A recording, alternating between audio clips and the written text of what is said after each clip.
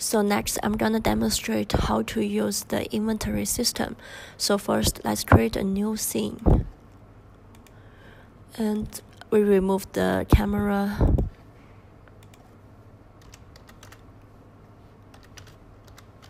I'll drag the OVR camera.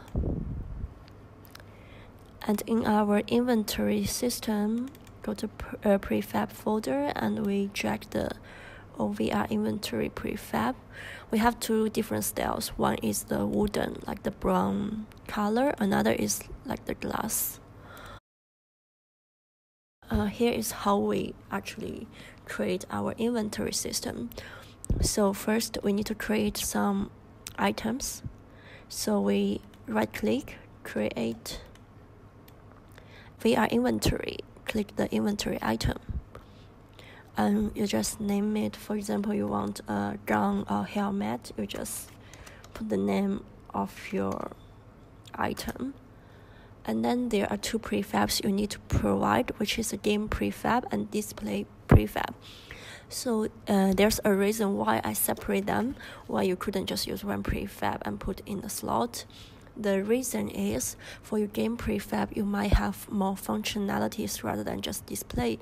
You maybe can scale them using two hands, or maybe you can rotate them using the joystick, but we don't want that to happen in our inventory system. In our inventory system, we just want it to be a static object. It's just the look and feel. Normally, I will create a folder called display prefabs. This folder is only used for putting all the game objects that is used for displaying in the inventory slot. Next, I'm going to drag the helmet prefabs that I have already downloaded from the Unity Asset Store. So this is how we decide the size of our display. We put the object inside the container and we adjust the size.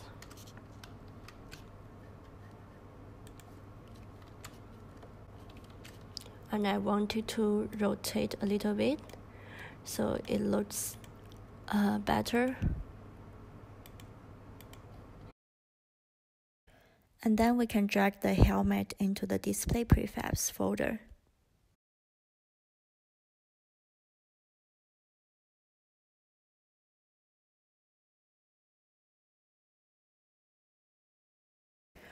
So now let's create our helmet that is used for the gameplay. So we drag a new helmet into our scene.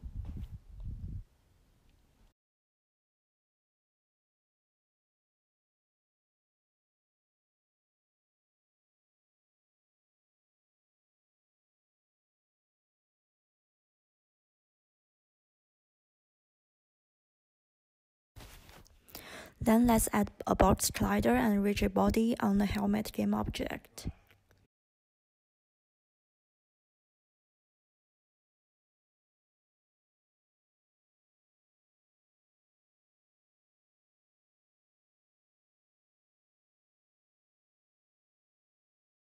Then let's add inventory grabbable.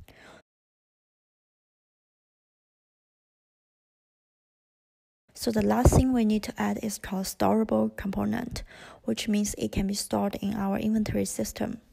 Then we can drag the helmet item into the inventory item field. Then we can drag our helmet into the assets folder and make it as a helmet game prefab.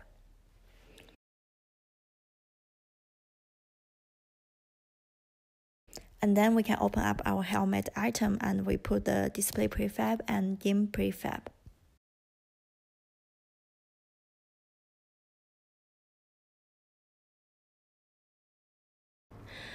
And yeah, that's pretty much about it.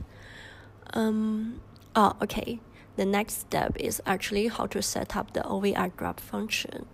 Um, if you see any other tutorial, you might already know how to do it, but here I will just demonstrate how I do it. So uh, you need to first add a sphere collider.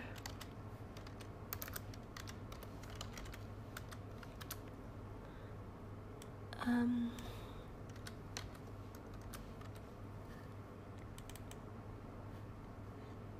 okay, and you make it is triggered and you add a rigid body disable use gravity, use is kinematic, now you need to import inventory grabber.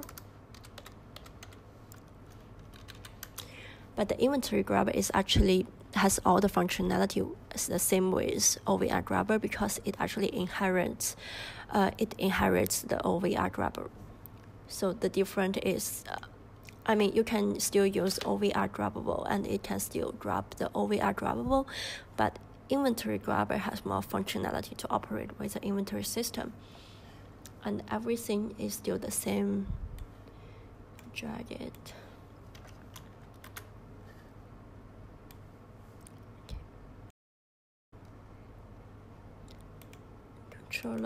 Okay.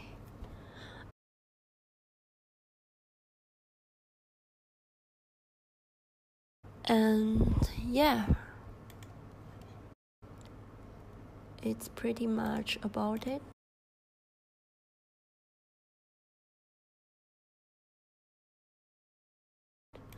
So let's just do a test.